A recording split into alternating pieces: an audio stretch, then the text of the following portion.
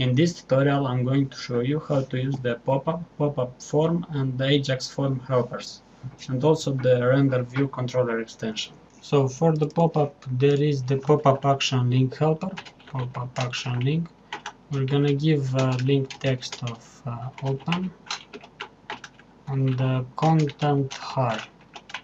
Also position uh, top and height 100. Another option is to use the URL helper and uh, I'm going to use it inside the HTML button tag. Use on click content hello and let's put the text of the button click me. Okay now let's run this. So let's open the pop-up. So as you can see opening one pop-up closes the other one. This is because they have the same name. So let's specify a different name. Name P1. Save and uh, refresh. So now these pop-ups are independent. They have different names. Opening one will not close the other one. Besides specifying static content, we can also specify the URL to an action from where the content is going to be retrieved via Ajax. So let's first create an action from where we are going to retrieve our content. Say hello, add a view. Let's make sure it, it doesn't use a master page. And say hello, this content was returned via Ajax. Okay, and here delete content and instead specify URL. URL action say hello. Save, build and refresh. Now if you click here, this content was uh, returned via Ajax. The pop-up form is used to post the form via Ajax and in order to demonstrate how it works I'm going to create a little uh, guest book here. So let's create our model uh, message. And let's create a list. I'm going to create a static uh, list of uh, messages. Let's add a few default messages. New message. Let's return our model and let's use it let's make our uh, view strongly type to enumerable of message.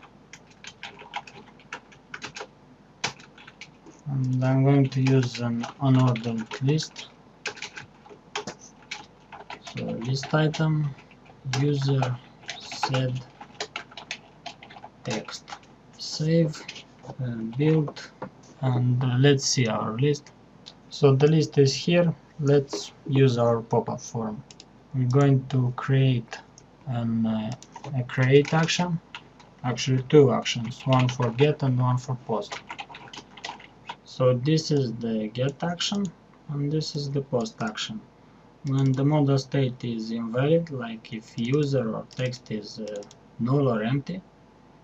The model state will be invalid so we're just going to return the view with the message model as it was.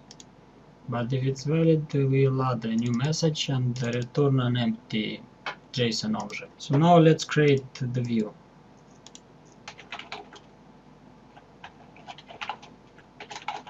So this is going to be our form, just a label, editors and the validation messages. We don't need a submit button because the pop-up form is going to have one. Let's add a create button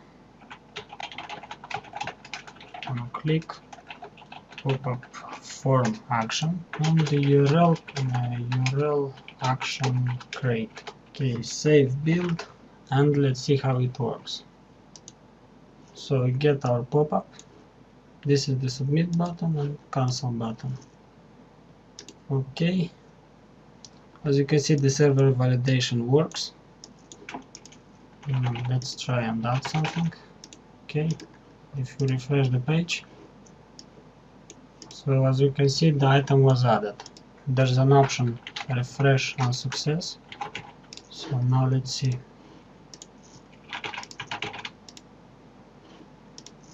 So basically the page is refreshed automatically after the success. Another thing that we can do is assign a JavaScript success function to the pop-up form. So I'm, I'm going to delete this uh, refresh on success and do that sf that's created. SF. This function will receive as a parameter the JSON object that, that was uh, returned by the post function. So I'm going to return something like content equals Going to do a string format. Zeros set one. Um, message user message text. Okay. And we'll get this object. We'll get it here. So let's put here an id list use it here list uh, all dot content so basically when the post action will uh, return a JSON.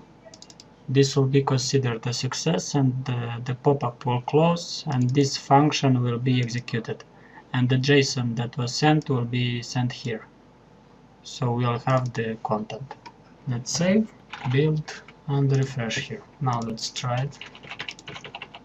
As you can see now it's uh, the success JavaScript function is executed and now we are going to create the same create functionality but using the ajax form so first I'm going to copy these two actions and uh, create another one I'm gonna name it create 2 and uh, also I'm going to copy the view and rename it to create 2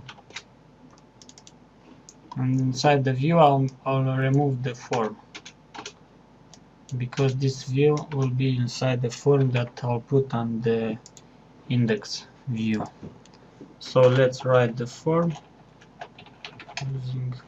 and we are going to give a class to this form let's call it my okay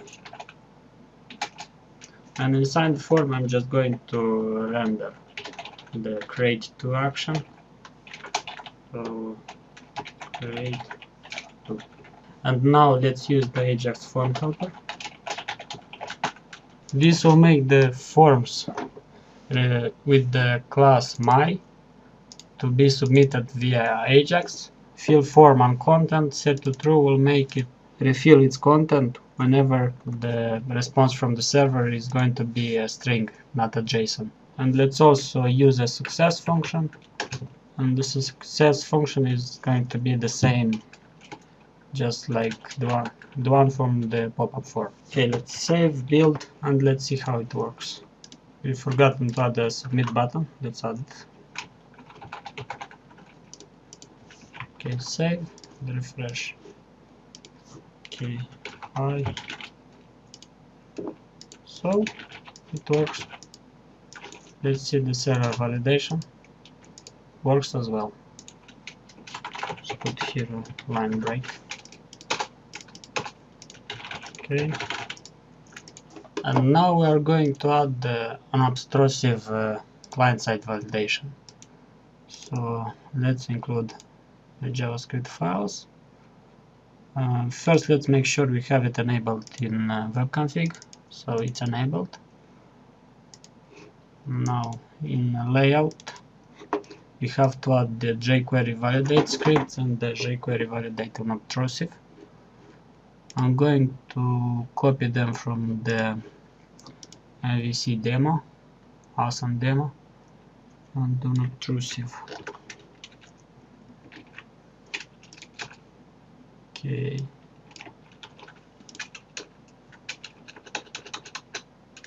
And also because uh, the unobtrusive parsers is called on document ready. The forms that come via Ajax will not be parsed. So we need another thing, which is this line. this uh, registers whenever an Ajax request completes, the unobtrusive validator will parse the document. So we also need this thing. So let's make the document ready.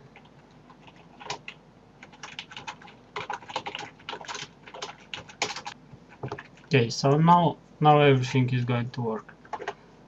Another thing that is needed is uh, this line, which uh, tells the jQuery validate to consider the hidden inputs. Because by default in version 1.9 the hidden inputs are not validated.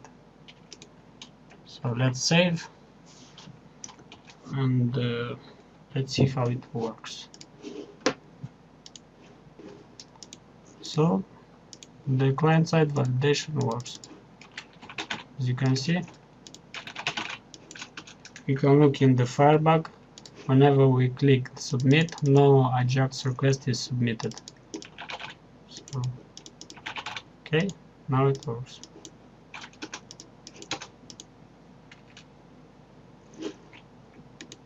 And one more thing, as you can see, we used here a basic string creation in order to create some HTML and this is okay for a small amount of HTML but when we have some complex thing then it's gonna be a bit hard. So what we can do is uh, we're going to create a view and render it here. So let's create a view item. I'll just copy this one and rename it. Uh, we're gonna give it a model. The model will be the message. Model message okay. And here we do the same thing that we did using the string format. User said model dot text and here instead of using string format we are going to render that view. Using the render view controller extension. This render view need to import awesome okay. View name item. And uh, let's give it a model which is the message. And let's do the same thing for create 2 okay. Also it's important to know that if we have here something like view data and uh, okay like this this view data is going to be available in the item view when we render it using render view so this might be useful sometime okay let's uh, save build and see how it works. Okay, so let's try and add something. So it works the same. We can have a very complex view and it's going to be rendered and uh, submitted via Ajax in here. So that's it. Thanks very much for watching and goodbye.